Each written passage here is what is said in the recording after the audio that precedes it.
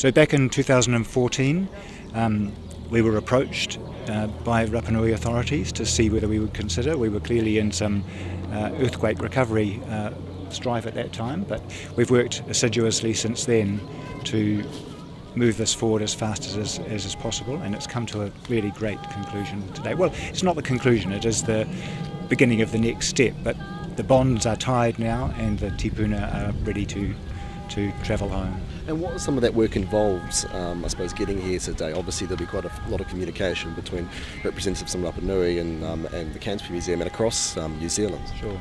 So the, the big the big thing is the agreement to do it. That is the really the most important thing. The rest of it is just logistics and organisation, and there's a lot of it, and it's very detailed. But having made the, the decision and the right decision, everybody has come together and worked unbelievably cooperatively.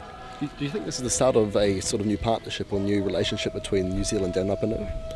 I sincerely hope so. Um, certainly, the bond, the, the, gifts they've given us are, are, hugely appreciated, and they are hugely appreciative of the fact that we are repatriating the tipuna. Do you have